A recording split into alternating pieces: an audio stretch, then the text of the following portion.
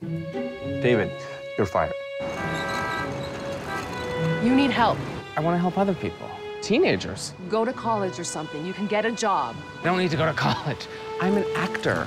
I can be anyone. I can do anything. My name is Mr. Roland Brown. It's a pleasure to meet you. I'd like to introduce you to our brand new guidance counselor. Help me with my shyness? Let's do a shot. You say I'm promiscuous. I want you to be an inspiration for all the other sluts out there, that they can be smart, intelligent sluts just like you.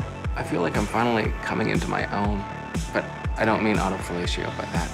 You're crazy. David, you're gay. No, I'm not gay. I just have a gentle voice. Maybe we should, like, rob a bank or something. You can't rob a bank.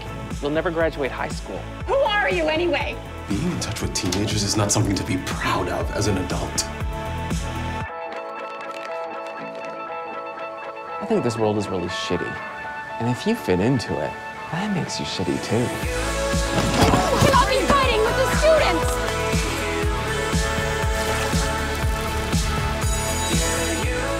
Everybody knows that teenagers are gonna drink and smoke drugs. If you do it with them, everybody has fun.